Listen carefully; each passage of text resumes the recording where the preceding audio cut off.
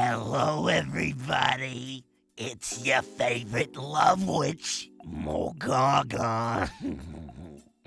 Thank you all so much for submitting questions.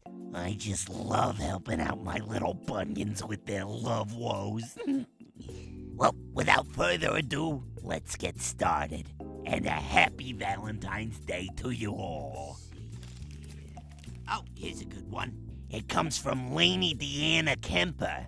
Dear Molgaga, I am waiting for my love to return to me, and I'm getting tired of waiting.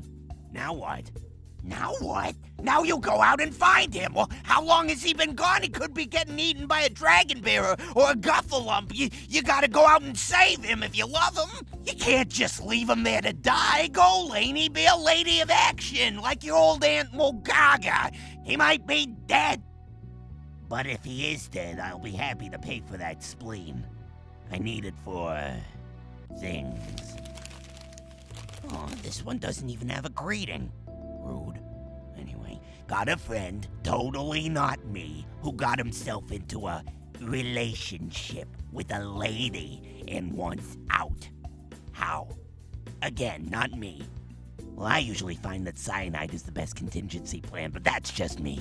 If I were to give advice to someone non homicidal, hmm, I'd say buy her dinner, let her off, uh, let her off soft. Tell her that it's not really working out, and, and she's great, but uh, you two are looking for separate things, and uh, you gotta have some time to discover yourself.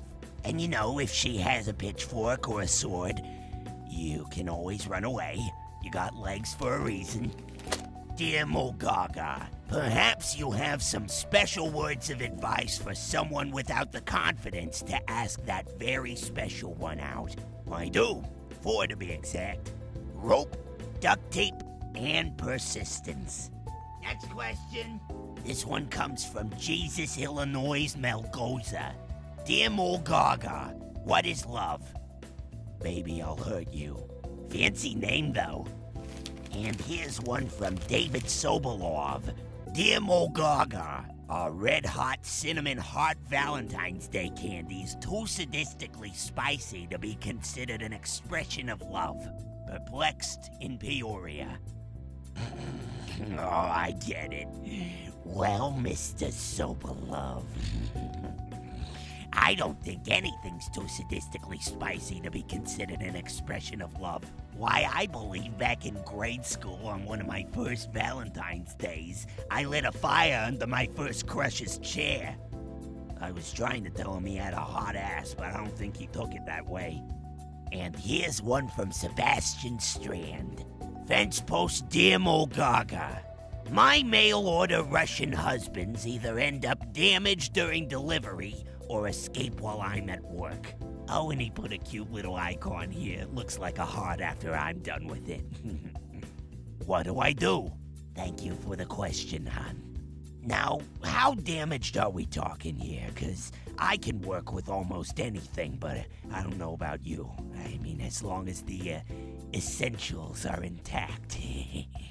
as for the escaping thing, I, I feel you there too. I found that chain link fences don't really do the trick like they used to, so I've uh, attached little spikes up there and put severed heads of the people who tried to escape before. Scares them right back down. Now go out there and make those Russians white, if you know what I'm talking about. Hash brown dear Molgaga, what should I sing to my special lady on Valentine's Day? Anything from Les Miserables! Shut up, Fluffy! This isn't your show! Though I agree,